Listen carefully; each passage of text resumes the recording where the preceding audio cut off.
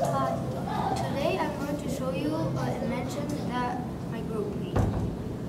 The others couldn't come because, so I'll show you the invention. This invention will stop the tsunamis. A tsunami is a really strong wave that destroys everything in its way. The earthquakes or the earthquakes or the ocean can cause tsunamis.